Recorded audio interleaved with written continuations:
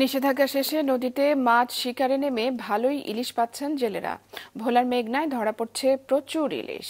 নদীর তীরে প্রতিটি মাছঘাট জমজমাট হয়ে উঠতে শুরু করেছে। সকাল থেকে ট্রলারগুলো মাছ নিয়ে ঘাটে আসছে। এক কেজি ওজনের ইলিশ মাছ এক হালি সাড়ে তিন হাজার থেকে চার হাজার টাকা। এক কেজির বেশি ওজনের ইলিশ মাছের হালি পাঁচ হাজার টাকায় বিক্রি হচ্ছে। জেলা মৎস্য বিভাগ জানিয়েছে, ঘূর্ণিঝড় সিত্রাঙের কারণে নদীতে পানি বাড়ায় প্রচুর ইলিশ পাওয়া যাচ্ছে। এবারে মা ইলিশ রক্ষা অভিযান সফল হয়েছে দাবি তাদের তবে পটুয়াখালীর জেলেরা বলছেন, সংখ্যায় কম হলেও ধরা পড়ছে বড় সাইজের ইলিশ। চাঁদপুর সদর উপজেলার হরিণা ফেরিঘাট এলাকার আড়তে জেলেদের জালে পাঙ্গাস দেখা যাচ্ছে। জেলেরা বলছেন, ইলিশের চেয়ে বেশি ধরা পড়ছে বড় আকৃতির পাঙ্গাস।